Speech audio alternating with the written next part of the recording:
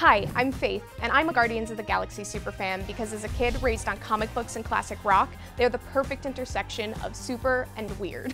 I heard about One Iota's Guardians of the Galaxy contest while I was at work, and immediately all of my coworkers said, you should enter. I got a message from One Iota on Twitter and completely lost it. I was so excited. I'd never been to Kimmel before, and seeing the Guardians of the Galaxy cast was gonna be a dream come true. So I brought my friend Allie with me. We'd wanted these shirts. They're Star-Lord's shirts from the new film, so we thought, how cool would it be to have these matching shirts? We both brought our red jackets to match Star-Lord, and we were ready to go.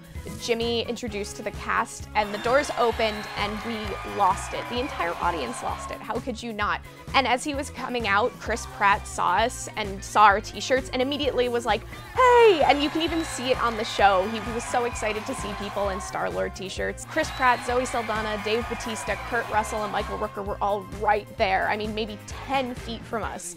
That was amazing. You know, even at things like comic conventions, you don't get that close.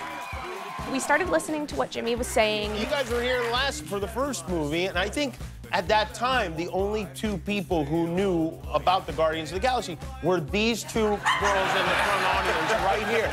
We realized that they put the camera on us and the lights were on in the audience, and it was so cool. And not only like to be on TV and to be acknowledged by Jimmy, by the cast, because they were all excited, because they knew we were excited.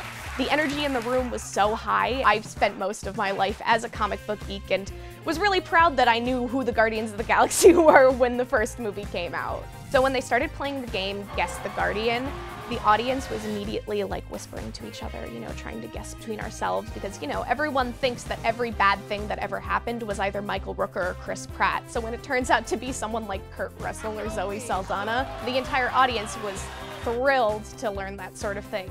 Once they'd finished, we saw Chris Pratt, you know, just kind of messing around and gathering up everyone's name tag. But then all of a sudden, Chris Pratt is running directly at my friend and I and hands us all of the name tags, hugs us, thanks us for being awesome, and then ran away. So uh, I have a Chris Pratt name tag, so that's really cool.